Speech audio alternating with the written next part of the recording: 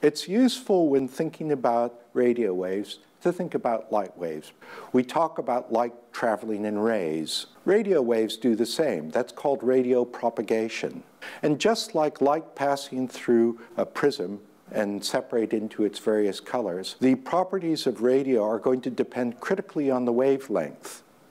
So when white light goes into a prism and is separated into red, orange, yellow, green, blue, and violet, radio waves are going to propagate differently depending on their wavelength too, which is much bigger than light wavelengths.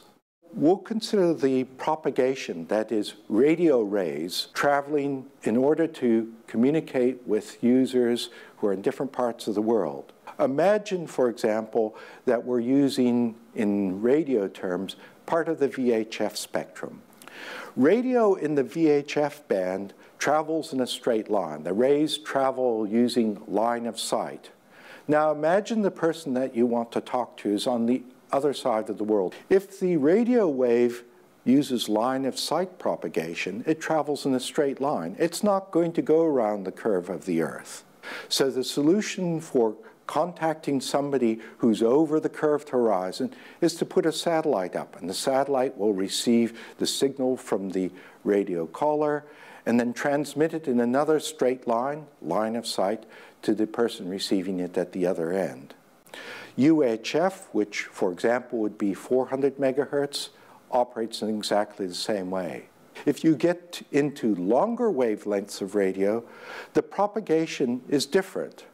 For example, in lower shortwave, which is around 300 kilohertz to 3 megahertz, the radio propagation or radio wave can actually curve itself around the horizon, around the curvature of the Earth. It's a ground wave.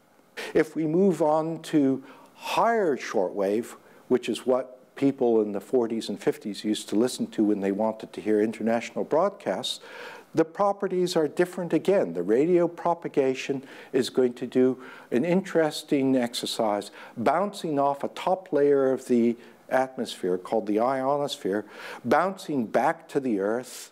This is reflection, bouncing up again to the atmosphere, to the ionosphere, and then bouncing back again until it reaches the radio receiver. That's called a sky wave, which works in around 3 to 30 megahertz. So what we see here is that radio propagation, like other radio properties, can depend critically on radio wavelength.